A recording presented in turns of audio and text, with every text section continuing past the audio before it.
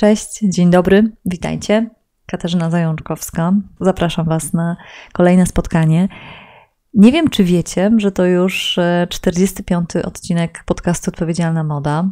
Mm, dobra, wiem, że to widać po tych numerkach i hashtagach, ale ja czasem dalej nie mogę w to uwierzyć, że przez ten rok udało mi się porozmawiać e, ze wspaniałymi 22 osobami, policzyłam dokładnie, no i nagrać drugie tyle solówek. No a przy okazji, słuchajcie, udowodniłam sobie, że nie do wszystkiego mam słomiany zapał, o który często siebie podejrzewałam. No i dodatkowo, że jak się bardzo chce, można wyjść do świata nawet w najgłębszym lockdownie. No dzisiaj mam taki dzień, że jakoś jestem z siebie wyjątkowo zadowolona. No i w ogóle najlepsze jest to, że dzięki Waszym takim komentarzom i tym rosnącym słupkom w statystykach mogę założyć, że świat z grubsza nie ma nic przeciwko tym moim wybrykom i wygłupom, a czasem to już w ogóle czuję, że jakoś tak yy, wita mnie z otwartymi ramionami, więc yy, chciałam Wam jeszcze raz podziękować za każde serduszko, serducho, subskrypcję, komentarz. Yy, to wszystko jest jak takie dmuchnięcie w żagle. No ale dobrze.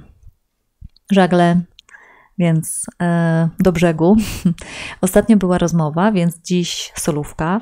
Pewnie zauważyliście, że staram się zachować taki rytm e, i w związku z tym już dzisiaj zapraszam Was na kolejną wymianę myśli, e, która już się gotuje w podcastowej kuchni i wiedzie tutaj na srebrnej tacy za tydzień. No a dzisiaj przychodzę z tematem greenwashingu. Po serii solówek o właściwościach materiałów pomyślałam, że nagram coś lekkiego i przyjemnego. Oczywiście żartuję. Będę Was przez najbliższe kilkanaście minut dołować, opowiadając o tym, jak marki odzieżowe y, robią z nas idiotów i idiotki. Brzmi jak przygoda, prawda? No to zapraszam. Na początek słuchajcie notatka z Wikipedii, która dotyczy terminu greenwashing. No, zacznijmy tak od dawki teorii tego terminu. Greenwashing e, po raz pierwszy użył w 1986 roku Jay Westerwelt. Jay w artykule opisującym hotele, mm, które z rzekomej troski o środowisko zachęcały swoich gości do rzadszego wymieniania ręczników. No, w istocie miało chodzić o redukcję własnych kosztów. Termin się przyjął i jak widać, praktyki przyjęły się jeszcze bardziej.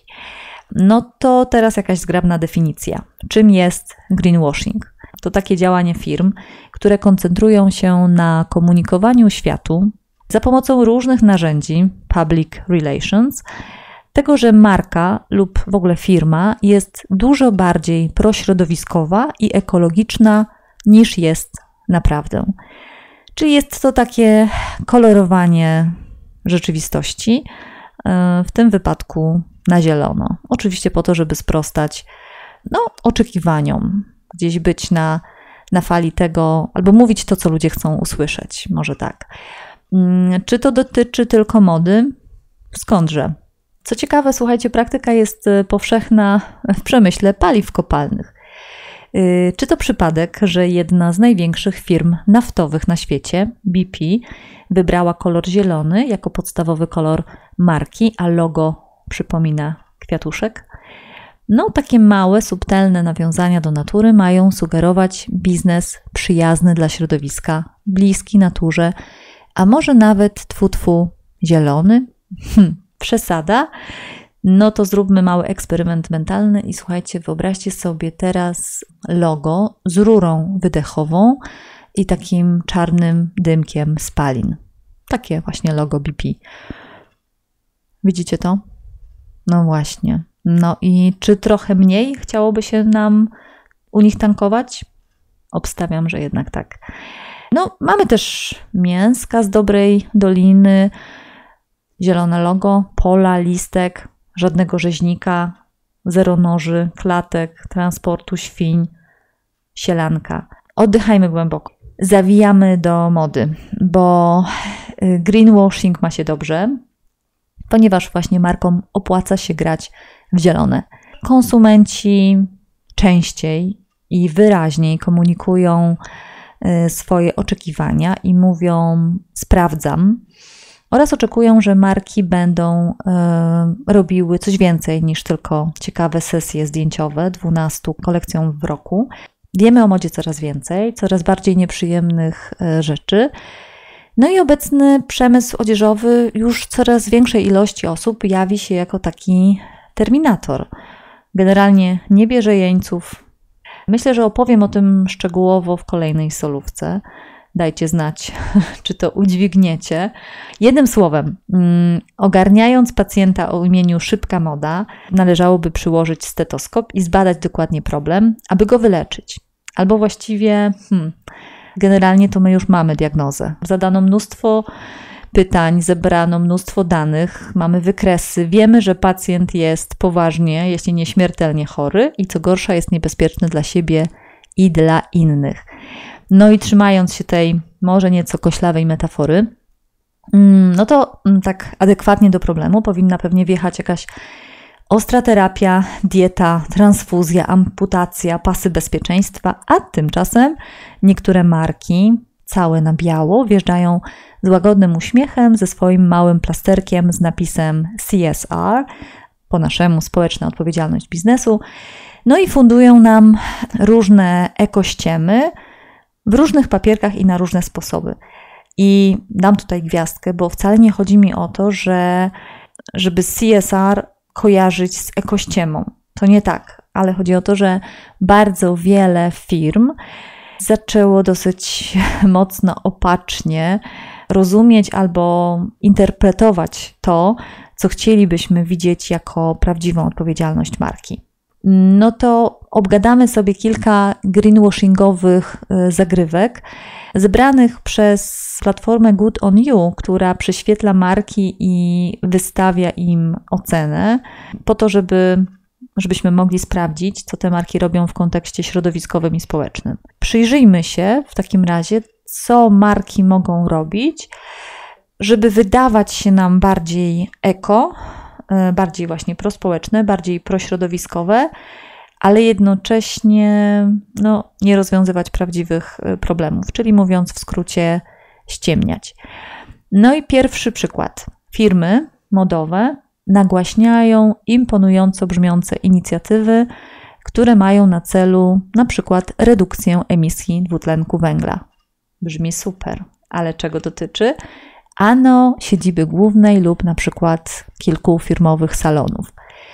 No tak, marka zmienia żarówki na energooszczędne, montuje panele słoneczne na dachu swojej siedziby albo pokazuje paprotki, które hoduje w biurze. Naprawdę wspaniale. Super, że firma oszczędza trochę kasy w dłuższej perspektywie.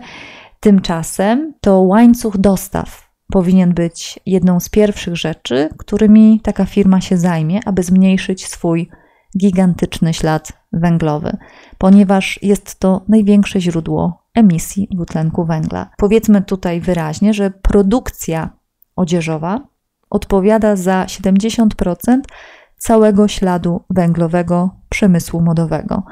No więc e, marki, które zaczynają nam opowiadać o zmniejszaniu śladu węglowego, powinny zwracać uwagę na swoje fabryki, a jeśli nie swoje, to te, z którymi pracują, na transport swojego towaru, tych milionów ton, które sprowadzają przez pół świata, no i na wpływ używanych w kolekcji materiałów na środowisko. Tutaj jest ślad węglowy.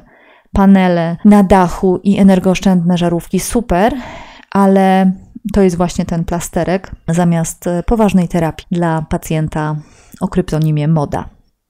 Kolejny przykład greenwashingu to są opakowania przyjazne dla środowiska. No właśnie, opakowania i tylko opakowania. Takie nadające się do recyklingu torebki y, mają być dla nas, konsumentów, znakiem, że marki ograniczają ilość odpadów, że w ogóle myślą o odpadach, że myślą o recyklingu, że myślą o mm, gospodarce cyrkularnej, idąc tym tropem skojarzeń.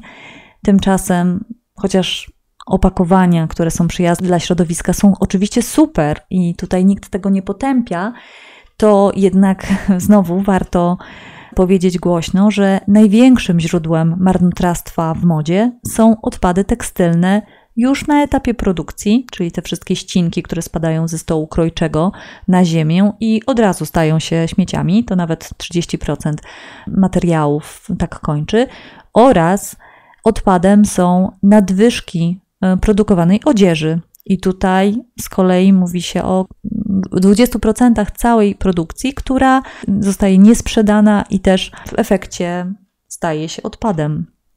Mm, kojarzycie zresztą pewnie głośną aferę z marką Barbery, tak, tą słynną, luksusową, y, która swego czasu spaliła niesprzedane ubrania o wartości 28 milionów funtów.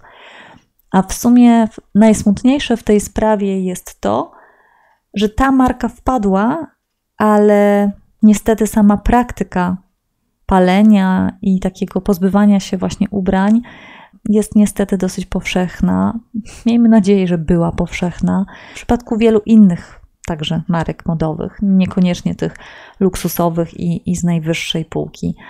Ciągle po prostu temat odpadu, temat śmieci pozostaje w naszym, w naszym świecie totalnie yy, nieogarnięty. Kolejna, słuchajcie, super okazja do greenwashingu to są cele i obietnice firm. To w ogóle trochę tak jak z naszymi noworocznymi postanowieniami. Marki oczywiście mają pełną swobodę y, w wyznaczaniu celów dotyczących tego ich wpływu na środowisko. No i najlepiej, żeby one były efektowne, ale wygodne do osiągnięcia. No i tutaj słuchajcie, naprawdę trochę się zdziwiłam, bo o tym to, to, nie jest takie do końca oczywiste. E, chodzi o to, że dobrym sposobem na rozszyfrowanie tego jest przyjrzenie się temu, co marka pisze drobnym drukiem, albo tak trochę między słowami. Na przykład hasło redukcja emisji o 50% brzmi naprawdę super. Dopóki nie przeczytamy, że te 50% jest związane z datą w przeszłości, kiedy firma na przykład była znacznie większa, a teraz postanowiła sprzedać swoje filie lub zakłady produkcyjne. Mm, no i jak sami rozumiecie, e, jest całkiem łatwo zmniejszyć o połowę emisję, kiedy zmniejsza się o połowę markę. Tadam, kilka księgowych posunięć, e, jeden notariusz e, i mamy zrealizowany bardzo ambitny cel po prostu na papierze. Y, ta sama sztuczka dotyczy redukcji emisji wyrażonej jako procent wielkości produkcji. Tak, dla wyprodukowania jednej koszulki można zużyć teraz 15% mniej energii. Brawo, ale jeśli jednocześnie produkuje się wiele albo nie wiem, 10 razy więcej koszulek, no to ogólna emisja wzrasta. No i nie ma tutaj mowy o jakiejś zmianie na plus. Yy, kolejny hit. Chwalenie się, że pracownicy szwalni otrzymują płacę minimalną. Niestety to też greenwashing. Dlaczego? No bo niby świetnie, tylko że w wielu krajach, w tych ubogich krajach, tak zwanego ubogiego południa, obowiązuje płaca minimalna, czyli taka najniższa zgodna z prawem płaca, którą firma może wypłacić swoim pracownikom. Firmy oczywiście chwalą się, że ich pracownicy otrzymują taką płacę minimalną. Niestety, problem polega na tym, że ta płaca minimalna bardzo różni się od płacy, którą określa się jako wystarczającą na utrzymanie, na życie godne życie, ale bardzo, bardzo skromne życie. Czyli ta wystarczająca płaca y, to płaca, która pozwala po prostu wyżywić, wyżywić siebie, rodzinę, opłacić czynsz, pokryć jakieś koszty podstawowej opieki zdrowotnej, y, transport, może edukację. Nic ponadto. Nie ma tutaj, wiecie, wakacji i y, lokat na starość. No i ta płaca minimalna to, mówiąc wprost, żaden powód y, do dumy, niestety. To jest taka oczywista oczywistość. Na przykład większość pracowników odzieżowych w Bangladeszu zarabia niewiele więcej niż ta płaca minimalna i znacznie poniżej tego, co jest uważane za kasę, po prostu płacę wystarczającą na życie. Więc firmy, które krzyczą, że płaca minimalna jest wypłacana, niestety chwalą się absolutnym minimum. No to trochę tak, jakbyśmy my oczekiwali braw za to, że nie wyrzucamy śmieci do lasu. Hmm? No, więc jeśli marka chciałaby nas przekonać, jak szczęśliwi są jej pracownicy, no to zawsze może sięgnąć e, po bardziej przekonywujące narzędzia, na przykład certyfikat Fairtrade. Zresztą słuchajcie takich, e, takich momentów, kiedy chcemy dobrze, a wychodzi jak zawsze, jest całkiem sporo. Takie wspominane często w memach albo w relacjach e, kupowanie t-shirtu z napisem feminist od marki, e, w której szyją ją nieletnie dziewczynki, albo kupowanie poliestrowej bluzy z napisem I love nature, e, ale właśnie bluzy, która będzie się rozkładać 70 lat, to nie jest coś, e, co powinno być powodem do, do dumy. I no jest, to, jest to takie pudrowanie tej dosyć paskudnej rzeczywistości i niezła zmyłka i greenwashing. No i wiele takich greenwashingowych zagrywek mm, to są naprawdę, słuchajcie, takie ostro żenujące akcje, bazujące na znanym także u nas w Polsce założeniu pod tytułem Ciemny lud to kupi. Ciekawy jest przykład z 2008 roku. Chodzi o markę Louis Vuitton, więc bardzo posh. Otóż ta marka uznała swoją elitarną klientelę za mało dociekliwą i mało rozgarniętą, y, zorganizowała kampanię z ikonami popkultury. Chodzi o Catherine Deneuve i Kifa Richardsa. No i te oto gwiazdy pozowały z bagażami, w, oczywiście w ten słynny monogram marki, z dopiskiem o wsparciu takiego klimatycznego projektu amerykańskiego senatora Alagora. No i w sumie fajnie, tak? Louis Vuitton, kampania dla klimatu. Wszystko jakoś tak brzmi sensownie. Tymczasem Dana Thomas, autorka książki Fashionopolis, y, zapytała rzecznika prasowego marki o szczegóły dotyczące tego wsparcia, i okazało się, że aktorka i muzyk, e, czyli właśnie Catherine Deneuve i Keith Richard, na prośbę marki Louis Vuitton przekazali swoje e, honoraria za udział w tej reklamie na projekt dla klimatu. No to e, pytanie do Was. Kto zatem wsparł tutaj działania na rzecz klimatu? Bo wydaje mi się, że jednak gwiazdy, a nie Louis Vuitton. To oni zrezygnowali ze swojego honorarium. No a marka miała reklamę z ikonami popkultury. Zresztą słuchajcie, tańsze i bardziej dostępne marki także lubią się chwalić ekologicznymi akcjami, no i teraz także ekologicznymi kolekcjami. W Zarze mamy kolekcję Join Life, e, w H&M Conscious Exclusive, w naszym rodzimym Reserved mamy Eco Aware.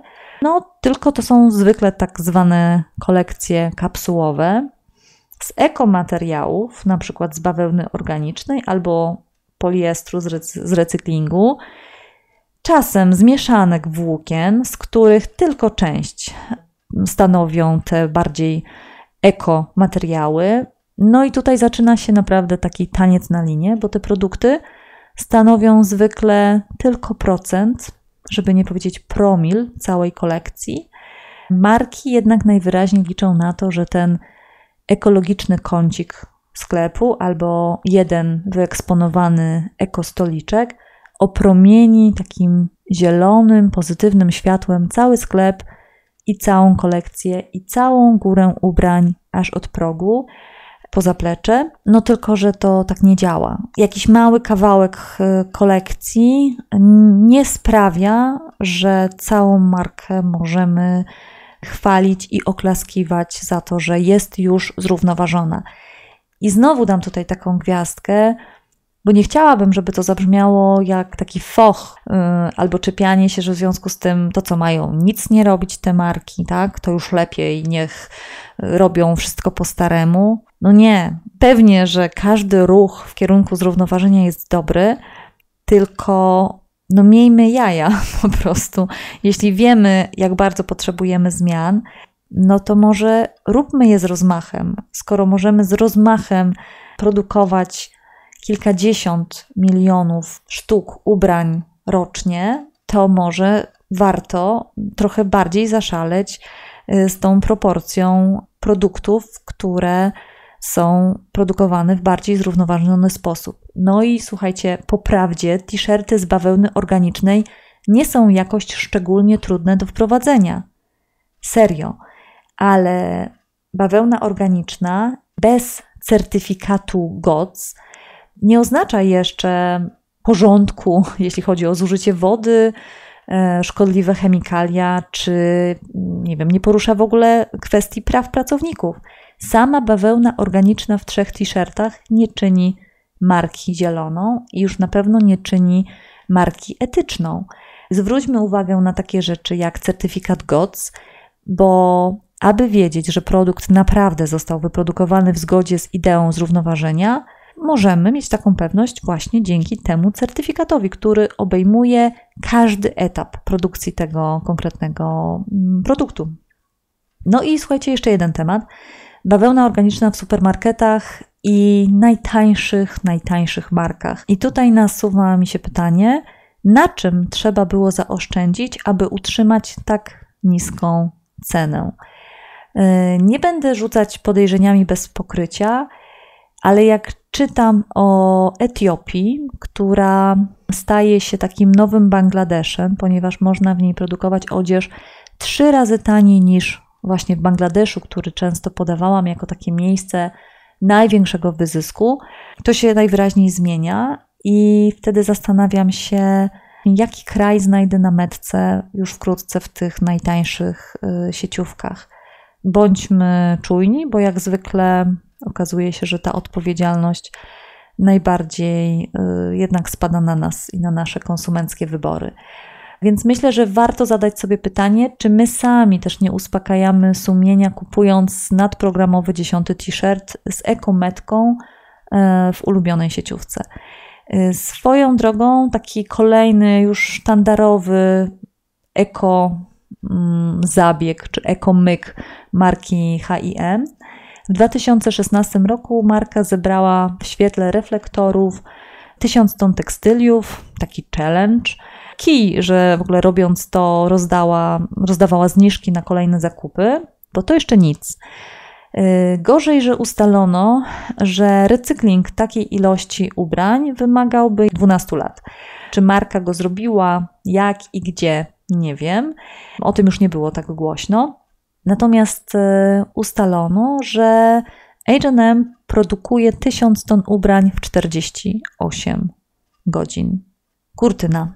Może zatem zbyt pochopnie cieszymy się tymi zmianami w branży. No, gdy przyglądamy się e, tym przykładom mm, greenwashingu, to e, możemy mieć dosyć mieszane uczucia. No i jeszcze pytanie, ile te ekoobietnice mają wspólnego z analizami Google'a, który dostrzegł taką zmianę, że w 2018 dwa razy częściej niż jeszcze rok wcześniej wpisywaliśmy w, wyszukiwar w wyszukiwarkę słowo sustainable, czyli zrównoważony. E, no, w pandemii to się jeszcze nasilało. Wiemy, że odpowiedzialna, zrównoważona moda staje się modna. No więc marki chcą nas pogłaskać i zapewnić, że ogarniają już temat zrównoważenia.